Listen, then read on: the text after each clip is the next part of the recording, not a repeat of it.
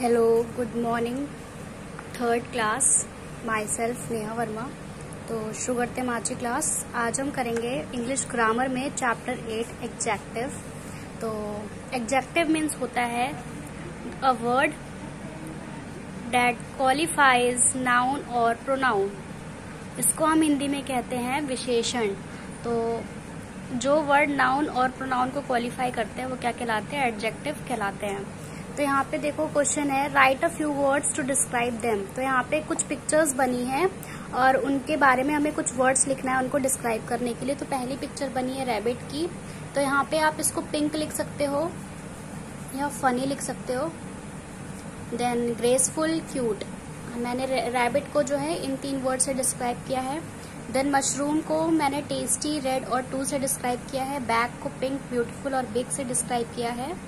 Balloons को two number है ना, टू बैलून है एंड कलरफुल हैं और अट्रैक्टिव भी हैं। तो इन तीन वर्ड से मैंने डिस्क्राइब किया है। ये क्या है? हैन है या कॉक है, जो भी है। तो ये वन है तो मैंने वन लिखा है। कलरफुल है तो कलरफुल लिखा है। और ये जो फास्ट है तो मैंने इसको फास्ट लिखा है। क्योंकि ये जो, जब दौड़ती है तो बहुत तेज दौड़ती है। देन बटरफ्लाई है, ये ब्यूटीफुल है कलरफुल है और शाई मतलब शर्माती है। क्योंकि आप जब भी इसको पकड़ने जाओ, ये क्या है, भाग जाती है ना तो इस वजह से इसको मैंने शाई वर्ड से डिस्क्राइब किया है। देन सोल्जर को मैंने ब्रेव ऑनेस्ट और करेजियस वर्ड से डिस्क्राइब किया है। करेजियस देन ताजमहल बना है, ये टॉल ब्यूटीफुल और वाइट डॉल बनी है प्रीटी बिग और प्लास्टिक ठीक है?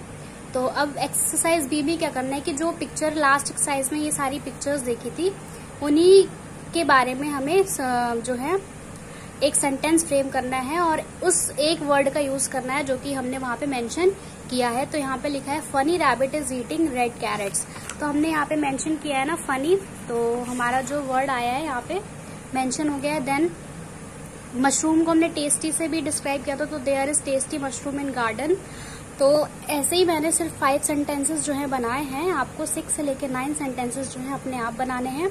कोशिश करना, अगर नहीं आते तो आप उससे पूछ सकते हो अदरवाइज़ बहुत ही ज़्यादा इजी है। तो अब हम अपना नेक्स्ट सब्जेक्ट देखते हैं। देन हिंदी में पाठ वचन के प्रश्न उत्तर आज हम करेंगे। तो इसका पहला प्रश्न है, वचन से क्या पता चलता है? तो इसका उत्तर है, वचन से वस्तुओं की संख्या का बोध होता है या लिख सकते हो? वस्तु वचन से वस्तुओं की संख्या का पता चलता है। ठीक है? दोनों एक ही चीज़ है। देन सेकेंड है, वचन से कितने वचन के कितने भेद हैं? तो इसका उत्तर है, वचन के दो भेद हैं, एक वचन और बहुवचन। तो ये दोनों क्वेश्चन आप अपनी नोटबुक में लिखोगे और इसको लर्न राइट लर्न करोगे ओके अब हम अपना नेक्स्ट सब्जेक्ट देखते हैं। देन ईवीएस में चैप्टर टेन के क्वेश्चन आंसर्स आज आज हम करेंगे। तो चैप्टर टेन है हमारा मीन्स ऑफ़ कम्युनिकेशन जो है हमारा चैप्टर टेन है।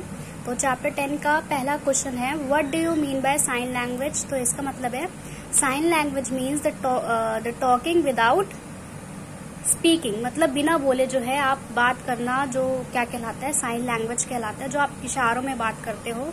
देन सेकेंड है what was the use of telegram तो इसका आंसर है the telegram was use to send urgent messages then third है who is preparing a letter तो इसका आंसर है Asif is preparing a letter then fourth है who delivers our letter and parcel तो इसका आंसर है postman then fifth है what is the use of speed post और कोरियर तो इसका आंसर है they are use to send urgent letter ठीक है? तो ये क्वेश्चन आंसर्स आपको अपने नोटबुक में करने हैं। और इनको लर्न भी करने हैं। तो आज के लिए बस इतना ही। बाकी हम कल की क्लास में देखते हैं। तब तक के लिए बाय टेक केयर